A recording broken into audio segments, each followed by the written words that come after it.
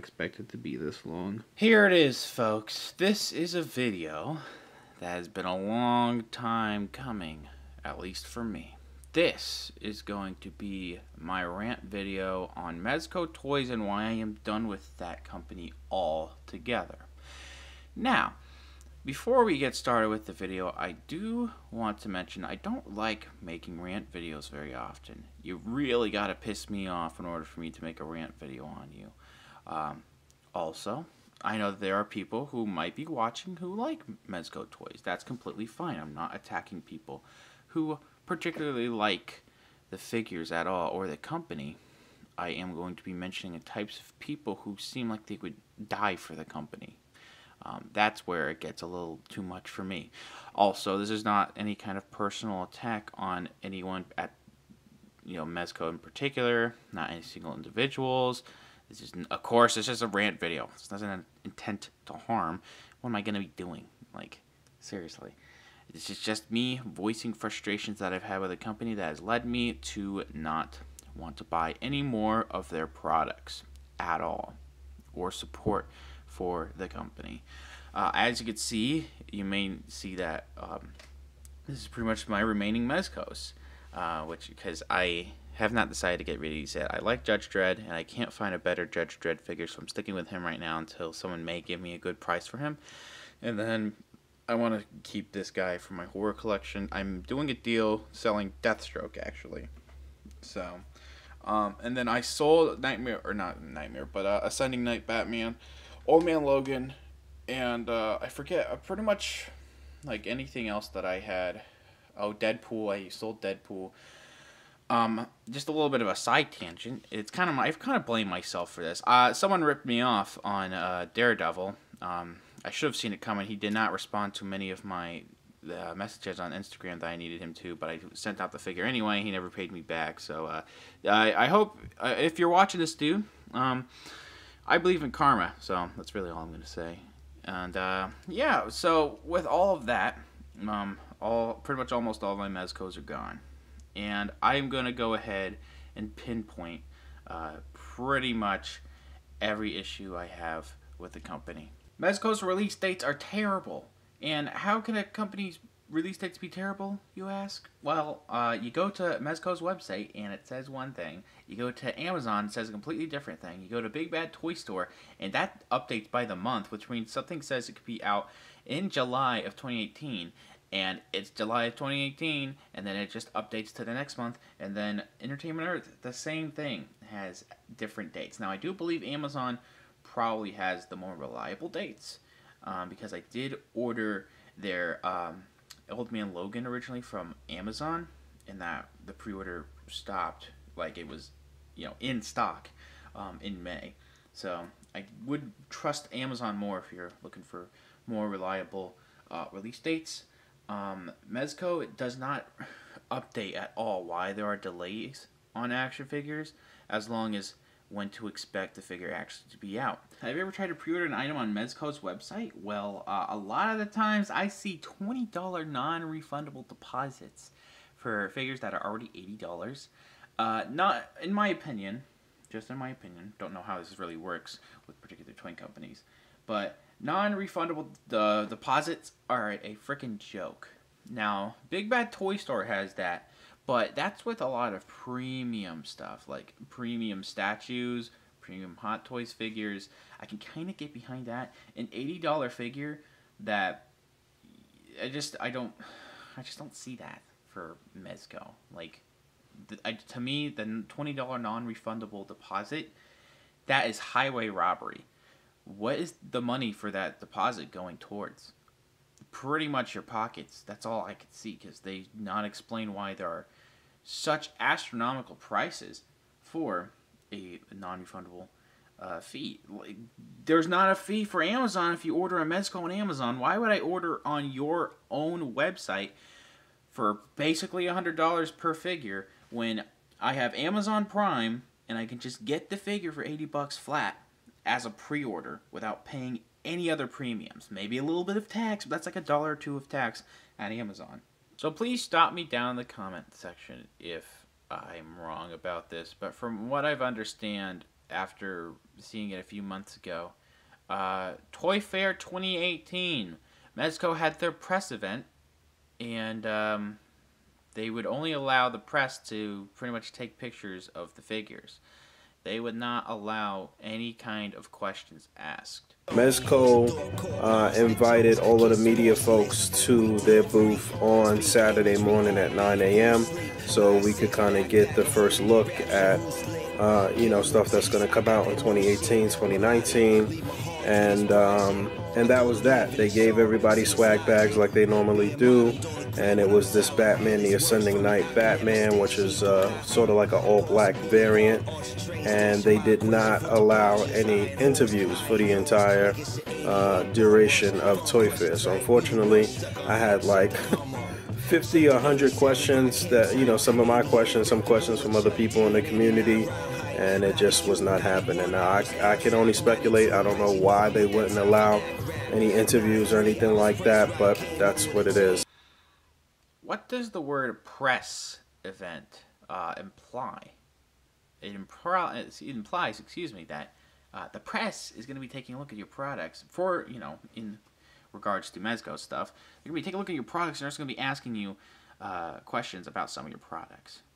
The fact that you would not even take time for you guys to just answer any questions for those people is just just shows how you probably treat your fans.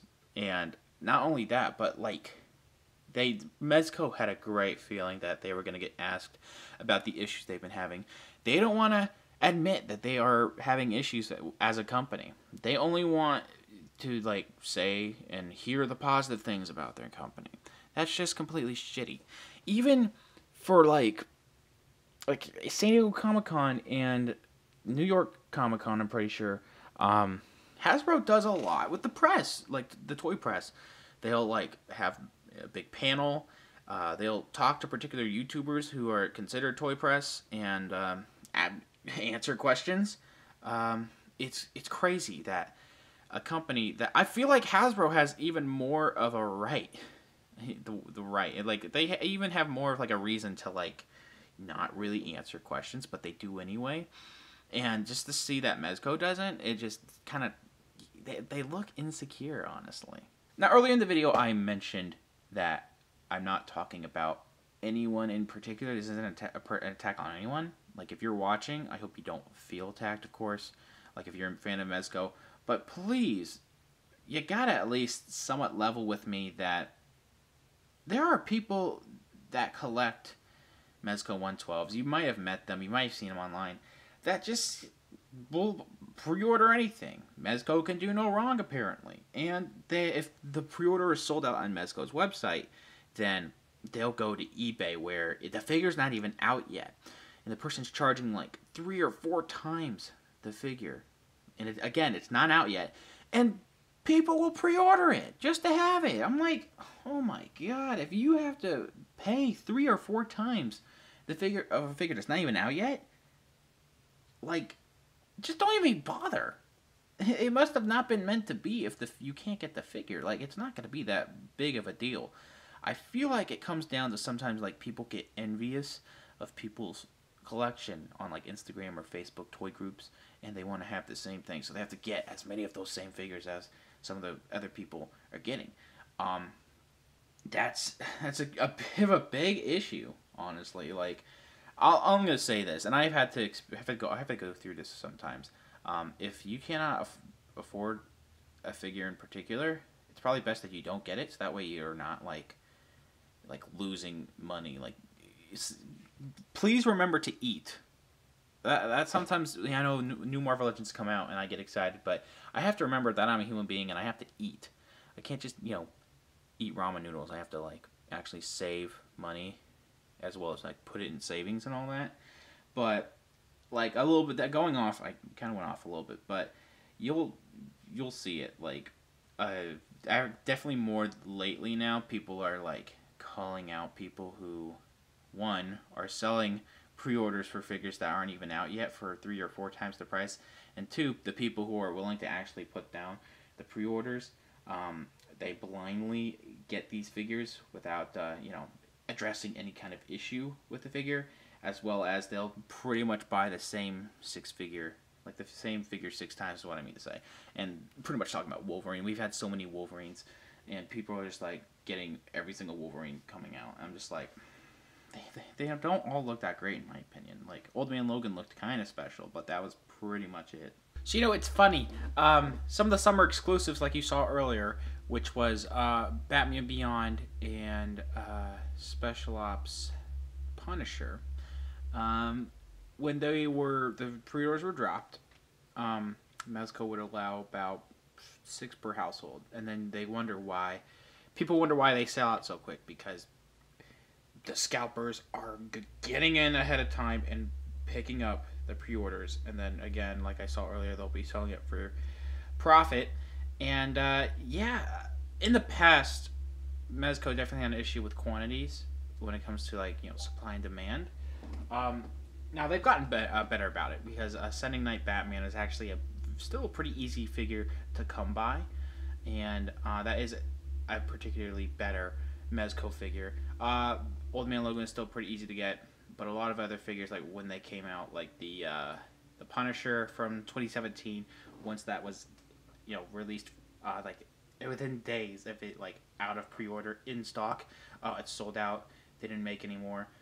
Uh, same thing with some of their DC stuff, like um, like the Superman, the comic Superman, as well as the uh, Flash. And um, I just think that's crazy that you would allow someone that to buy that many exclusives when you already limit them to. I've heard that they only sold, they only made five thousand right now, like for the Mezco online stuff, like five thousand, and then you're allowing people to buy six of that. Come on, you gotta be thinking much smarter than that next time. I mentioned uh, the summer exclusives earlier. I feel like a lot of summer exclusives that Mezco makes um, would do so much better if they were available as just regular figures. I, I don't say retail because you know they don't go to like Walmart or Targets. Retail pretty much being that they go to specialty shops and comic book stores as well as online retailers like um, Entertainment Earth, Big Bad Toy Store, and um, Amazon. But um, yeah, like Spec Ops or special. I keep saying Spec Ops, but Special Ops, Punisher, and Batman Beyond. Uh, those were figures that we were very much excited for, and now you have limited pretty much the qual- um, the quantities of figures that are very much in high demand. Whereas with let's say your seventh or sixth uh, Wolverine you've made so far is still easy to find. Uh, people are, I feel like people will get more fatigued from those type of releases, and you guys would make so much more money if you just made the figures that are exclusives available for retail. Now, I don't know if there's licensing issues, but I don't feel like that's too big of an issue. I'm not really sure why they would limit the quantities of a highly demanded figure. So let's talk about the traffic that happened when uh, Special Ops Punisher came out. That was a shit show, and that was when a lot of people started to get very unhappy uh, in bigger numbers uh, at Mezco. So they just randomly dropped the Special Ops Punisher. Um, people flood over to the website. The website crashes a bunch for people. So I was on break at work and I decided to refresh the page and it would crash for me as well. One of my buddies was trying to pick up that figure. He tried to do it like three times. It, it failed like every time for him. But then he looks in his state, uh, bank statement, excuse me, and he sees that his card has been charged multiple times because of the non-refundable deposits. Um, and it was like um, pretty much getting three figures. So he's either getting one or three figures. I'm not entirely sure what is happening with that. But um, if he only gets one figure and he doesn't get refunded for the non-refundable payments, which are meant for if you're actually getting the figure, if they just took his money, uh, he should. Um, I don't. I mean, suing is one thing. I know that sounds a little ridiculous, but that's that. Again, I mentioned again, it's highway robbery. Um, Mezco really needs to prepare next time for an in just a giant number of people coming to their site whenever they randomly drop an exclusive like that.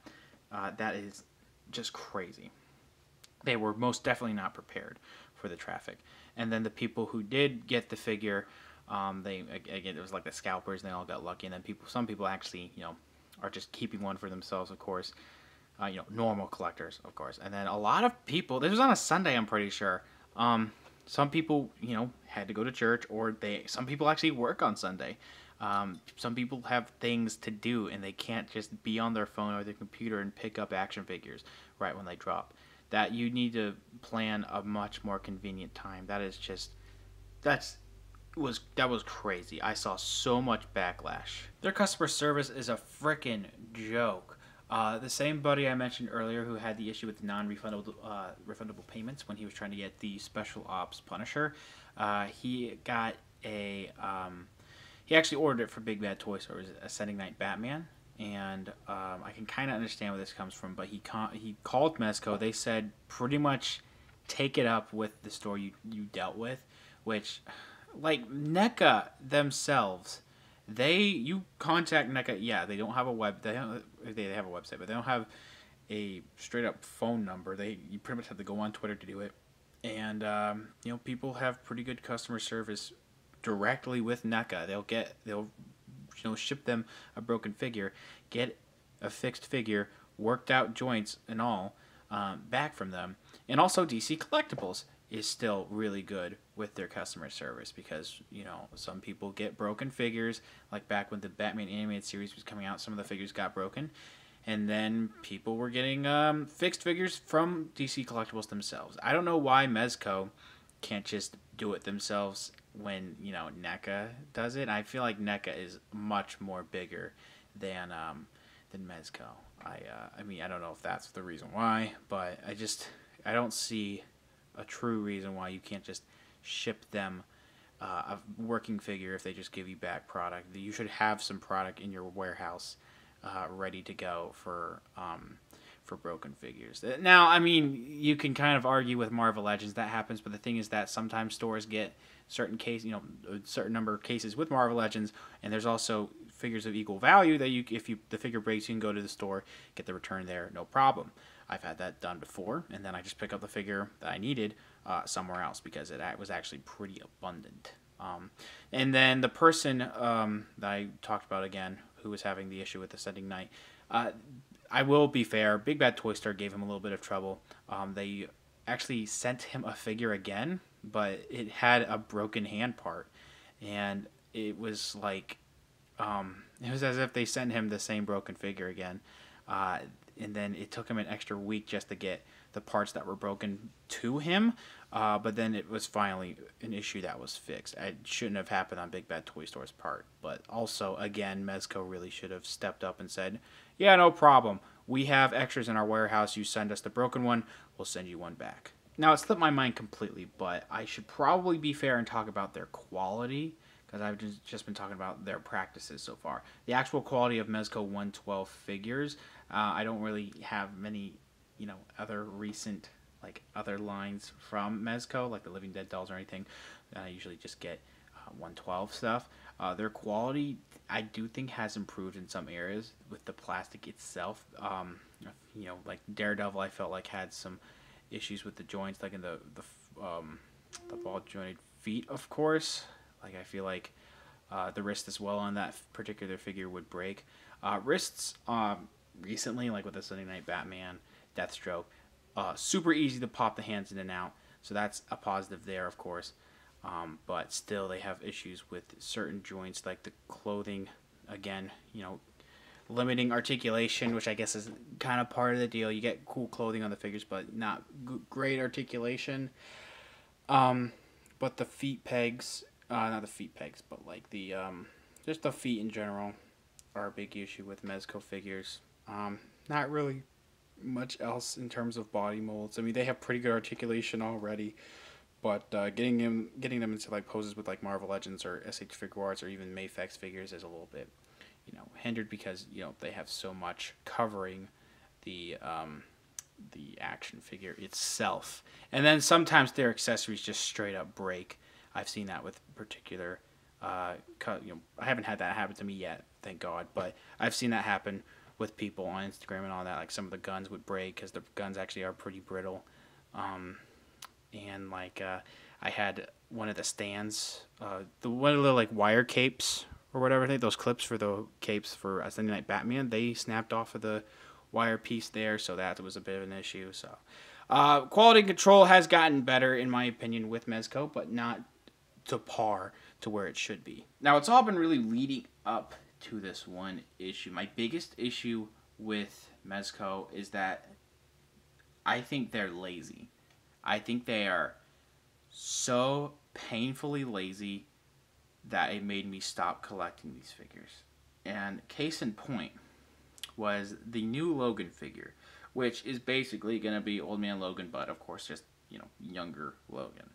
Um, they announced that right after uh, Old Man Logan came out, and uh, I'm sure people asked for that figure, but I don't feel like it's ne- super duper necessary at this point because that was again pretty much their sixth, um, their sixth Wolverine. It was on the same body as pretty much the previous Wolverines. Uh, since they already have that body, it was easy to just churn out the figure. Uh, pretty much a lot of the accessories with Old Man Logan are available with this new Logan. And that that pretty much like set me over the edge a little with this company. Also, like a lot of their other figures have been having less accessories, like Old Man Logan. Now, Ascending Knight Batman has actually a lot of accessories, um, but like the newest Netflix Punisher has like what four guns, a few hands, uh, an uh, alternate head, and that's pretty much it. And even the alternate head is pretty much the entire neck. It's not like you know just the head itself. It seems like they would. It's gonna have like limited articulation as well as not being able to, you know, kit bash a little bit easier with other Punisher figures. So it just feels like they're taking steps back. But going back to Wolverine, um, Mezco has a uh, has an Instagram, and I decided, you know, I'm just gonna comment. Like I'm not gonna be nasty, too nasty or anything, but I just, just pretty much sarcastically said, let's churn out, uh, let's take the same body that we've already made and just churn out another uh, figure and just give him jeans and call it a brand new figure. And I thought it was a joke. Like I, it, it is still a joke. It's hilarious that they're doing this. Um, they deleted my comments. Now, I I try to make sure that they actually deleted my comments before I decided to put it in this video because I didn't want it, want it to be like there was a certain Instagram issue that was happening. No, no, no, no, no, no, no, no. Uh, two other people, uh, including the one guy that has had issues with Mezco earlier that I mentioned, um, yeah, they they tried to look at their replies to my comment and they couldn't. That means that Mezco deleted my comments. I commented again saying, uh, "Oh, I see you're deleting comments." That got deleted. Um, that that was actually the the breaking point that hit me was um, that same day that that happened. I said that I was going to sell every single Mezco that I have, and I pretty much almost have, with the exception again of that one guy ripping me off. Um, but yeah, no, that. Uh, I'm sorry if it seems like I'm having a little bit of an issue trying to say it, but like, I just that's baffling. I don't understand why you children children run that company. Absolute children run that company. I don't care if you say, "Oh, they, they're they're nice, you know, they're really nice when you talk to them." I don't give a shit. They prove to themselves that they are not open to criticism, any kind of criticism. Todd McFarlane makes some of the most painfully average figures of all time, and he, even he will allow comments like he'll make a Daryl figure. People will comment, "Oh, I see, we got our seventeenth Daryl." He won't delete comments. Yeah, sure, maybe he won't respond to them, but like that's better than deleting the comments. When Todd McFarlane, who I believe, from what I understand, has a big ego, is willing to keep that criticism on his page, and Mezco isn't, that is sad. That is pathetic. Absolutely unacceptable.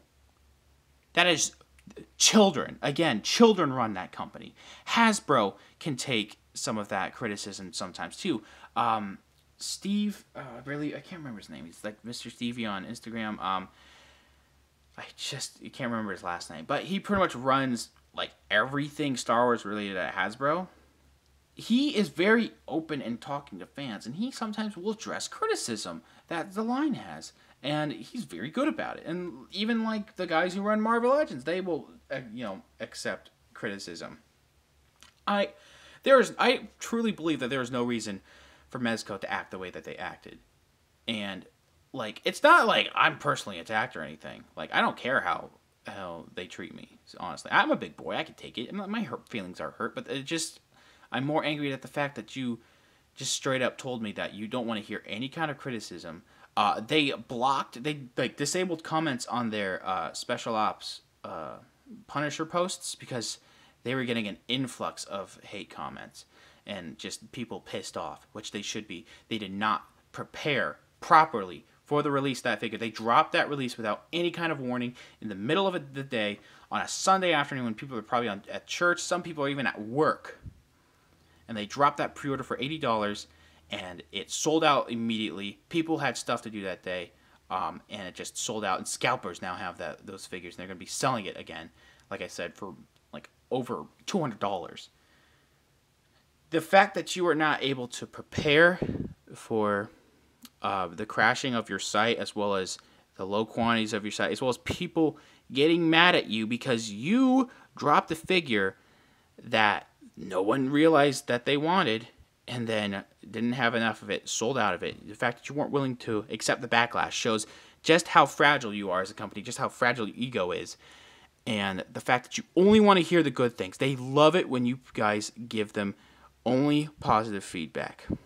They will completely ignore or delete comments that are negative. A ter- absolutely terrible company. Even you know, I heard that Randy Falk can sometimes be a little bit abrasive when it comes to some of that criticism, but at least he can respond to it. The fact that you were just deleting it and ignoring it, it's, it's pretty much ignoring its existence completely, just shows how insecure and fragile you are, as well as big big-headed you are as a company. I am almost just like can't even speak right now. I'm so pissed off about it still. So, that is the reason why those are the main reasons why I'm, I'm done with Mezco. And I do apologize for the long video. Um, I feel like I did ramble a few times. I do apologize. Um, it's just absolutely insane the issues that this company has been having. And it, oh, they, but the company only seems like they're going up. Usually, when this happens, companies seem like they're going to go down. Mezco's been going, or excuse me, uh, May, uh, Mattel has been going down for years because they aren't, uh, you know, improving on some of the criticism that they've had in the past. I mean, they have improved on some of their figures, but it's not enough. Um, at this rate, I, I, I, I'm not saying I hope, but I wouldn't be surprised that Mezco, uh, their line would just tank because of the, you know, the terrible, terrible relationship that they have with some of their customers. Now, if you've had great relationships with Mezco, um, I'd like to hear about it down in the comments. If you have your issues, let me know. Again, this is my personal issues. This isn't like me saying everyone's going to have this issue, but it's just me venting my frustrations about the company. If you like Mezco, this not this video is not meant for you guys to change your mind about Mezco. If you like Mezco, more power to you. I can't stand Mezco anymore. Uh, thank you guys very much for watching. If you like this video, leave a like. I don't make rant videos like this very much. I don't particularly like to. I like to keep it positive on my channel, but sometimes I just have to let it out. Um, thanks again for watching. Subscribe if you haven't already. Comment down below. Like, favorite, share, all the other stuff. Uh, follow me on Instagram for more content over there, and I will see you guys later.